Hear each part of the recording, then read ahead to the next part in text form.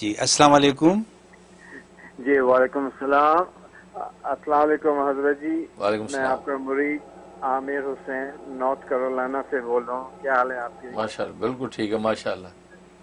अल्हम्दुलिल्लाह जजाकल्ला हज़रत जी एक सवाल है कि अक्सर हम जो है ना टीवी देखते हैं और न्यूज़ देखते हैं।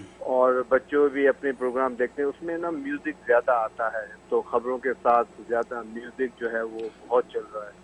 और बच्चों के प्रोग्राम में भी। तो आप ये कहेंगे से कोई अ, क्या ये जायज़ है? देखना इस तरह तो इसकी आप वजाहत कर लीजिएगा। बहुत दुआ में याद रखिएगा। वालेकुम। जी जी वीडियो देखने से पहले वीडियो को लाइक करें राहम टीवी चैनल को सब्सक्राइब करें और बेल आइकन पर क्लिक करें। शुक्रिया। माशाल्लाह माशाल्लाह आमिर हुसैन नॉर्थ कैरोलिना से आप कॉल कर रहे हैं। गालबन आप पहले अटलांटा में होते थे वही आमिर हुसैन हैं। तो अब शायद नॉर्थ कैरोलिना में हैं। अल्लाह ताला आपको बरकत अता फरमाए। बाकी सवाल आपने बहुत खूबसूरत और बर वक्त किया है।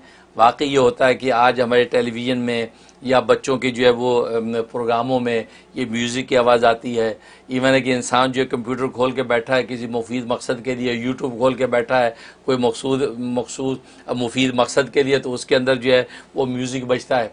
असल में एक उसूल याद रखें, ये कवायद फ़िकिया के एक उसूल है अलमूरू भी मकासदिया जो मकसद होता है उसके ऊपर जो है वो फैसला किया जाता है। आप जब कोई प्रोग्राम यूट्यूब पे खोलते हैं या किसी और तरीके से प्रोग्राम देखते हैं या टीवी देखते हैं या ख़बरें खोलते हैं तो ख़बरों के अंदर ये सारे जो आलात मौसीकी इस्तेमाल होते हैं और उनकी सारी जब वो उसके अंदर ने- ज़ेरो बम आते हैं। लेकिन चूँकि आपको वो मकसूद नहीं, मकसूद आपको ख़बरें हैं। क्योंकि आप खबरें देखना चाहते हैं, लेकिन उसके अंडर है उसके ज़िमन में ये सारे आलत मौसीकी की आवाज़ें आ रही हैं। लिहाजा उस सूरत में आप पर कोई गुनाह नहीं है, क्योंकि आपका मकसद खबरें सुनना है और उसके ज़िमन में ये चीज़ें आ रही हैं। उस सूरत में आपका मकसद, चूँकि ये ये आलात मौसीकी की आवाज़ें सुनना मकसूद नहीं है, खबरें सुनना मकसूद हैं और खबरें सुनना एक मुफीद मकसद है। लिहाजा उसके अंडर अगर ऐसी चीज़ें आएँ तो उस पर कोई गुनाह नहीं और वह आपकी खबरें सुनना जायज़।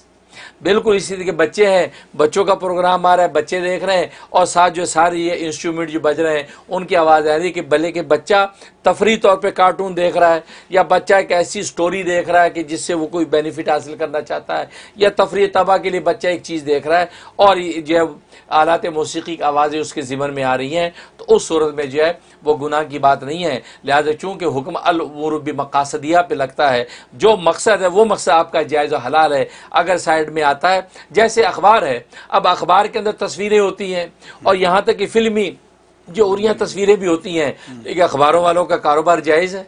उसकी आमदनी को कोई हराम नहीं करता। इवन है मैगजीन छापने वाले, उनमें तस्वीरों की भरपार और उनके अंदर जो मॉडल्स की तस्वीरें, लेकिन चूँकि उसके अंदर खबरें हैं, उसके अंदर मुफीद मजामी मकसूद हैं, लेकिन बाकी जो चीज़ें सपोर्टिंग उसकी जो है वो बेनिफिट के लिए उसके अंदर डालते हैं, कशिश के लिए डालते हैं। लेकिन असल जो मकसद है चूँकि अखबार से खबरें हैं, लिहाजा अखबार की आमदनी अखबार वालों के हक में बिल्कुल हलाल और जायज़ है, कोई भी उसको हराम करार नहीं देता। इसलिए जो है, मकसद पर फैसला होता है। मकसद के मुताबिक जो है, अगर जो है ऐसी चीज़ें पेश आ जाती हैं तो उसमें कोई मजाका नहीं है। जी।